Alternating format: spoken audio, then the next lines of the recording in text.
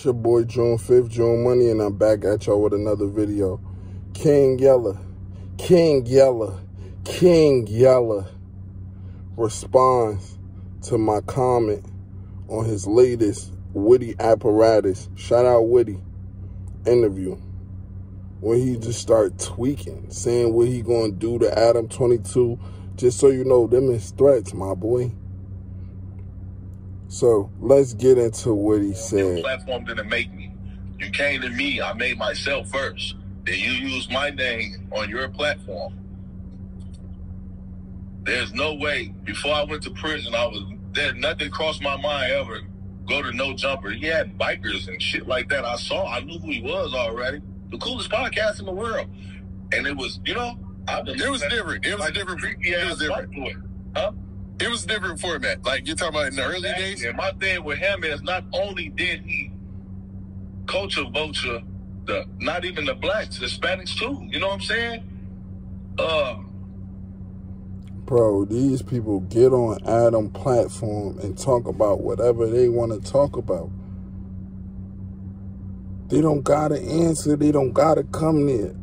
You acting like Adam be forcing people up there like, yo, if you don't go up here, I'm getting you indicted. Or he put a gun to their head, bro. You don't put a gun to their head because they, if you smart, you thinking like me. Let me get on Adam platform and promote myself to the world.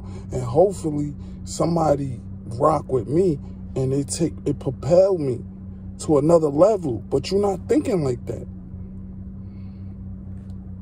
My problem with him is he trying to go on there and act like he's a gang member. He when to disrespect my little cousin Amari Blaze, posting a call her dirty on skeezy. Like when he see me, it has to be it's gonna have to be something. It's not gonna be, oh, we're gonna talk about it. Nothing on skeezy. It's gonna have to be it's gonna be something.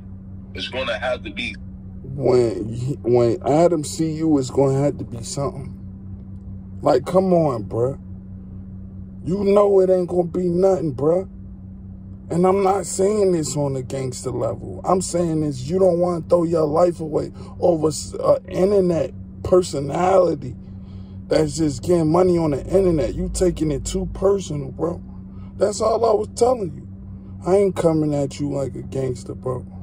I rock with you, Yella. You just gotta chill. Like some some stuff you do is type goofy. But I rock with you, Yella. Thank you for the comment, bro. I appreciate it. Peace, man. Like, comment, subscribe to my channel. I'm out.